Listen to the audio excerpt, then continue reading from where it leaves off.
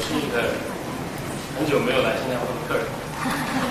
哎，我上一回到新加坡呢是十五年前。呃，新加坡这十五年来改变的相当大，呃，比以前要好得多。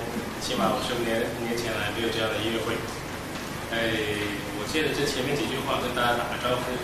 哎，大家既然是朋友熟了，就什么都好商量。也希望呢，对商量一件事，也希望在听过这么多专业的演唱以后，在听我的唱之前呢，你们稍微把标准稍微调整一下。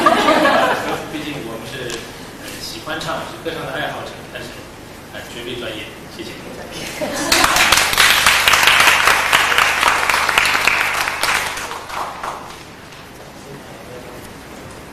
哎，我那个两个歌对调一下。